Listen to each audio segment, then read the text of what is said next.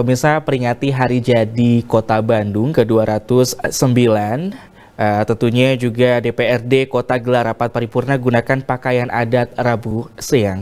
Di hari jadi tersebut Pemkot dan DPRD Kota Bandung berharap Kota Bandung akan lebih maju ke depannya dengan kolaborasi antara pemerintah bersama DPRD guna mewujudkan Kota Bandung nyaman, aman, dan sejahtera.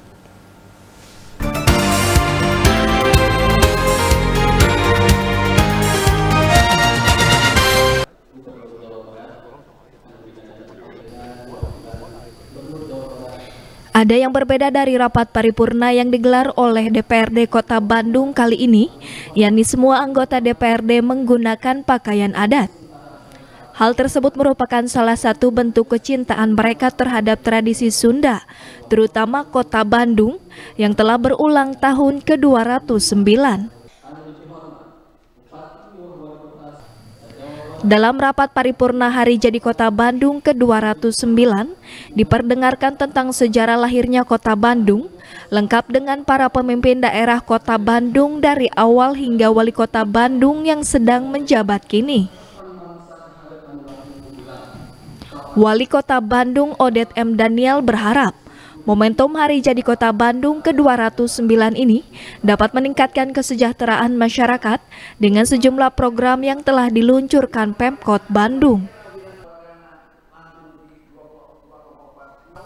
Odet pun mengatakan salah satu program selanjutnya yang akan menjadi fokus pemerintah yakni mencetak para pengusaha muda sehingga dapat meningkatkan perekonomian dan meningkatkan kesejahteraan masyarakat. Ya, Insya Allah ke depan saya sebagai janji politik kami, ke depan itu kami akan apa membangun menghadirkan wirausahawan baru ya, khususnya untuk khususnya untuk anak-anak muda.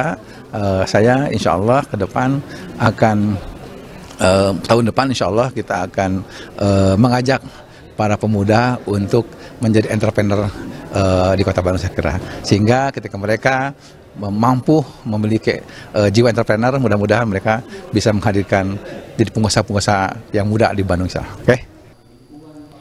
Sementara itu Ketua Sementara DPRD Kota Bandung Yudi Cahyadi berharap di momentum Hari Jadi Kota Bandung ke-209 ini, sinergitas antara pemerintah kota dan Dewan Perwakilan Rakyat Daerah dapat terus terjalin secara baik guna mewujudkan kesejahteraan masyarakat Kota Bandung.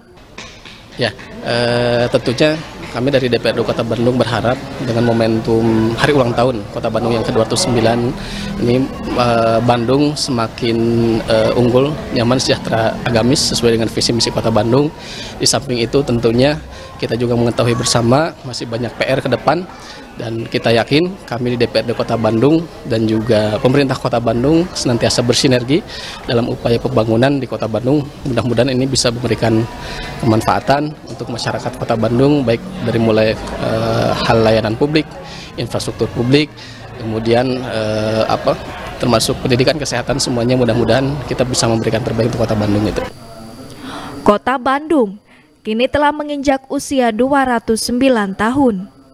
Dalam usianya kini, Kota Bandung terus berbenah guna mewujudkan Kota Bandung yang juara dan masyarakat yang sejahtera.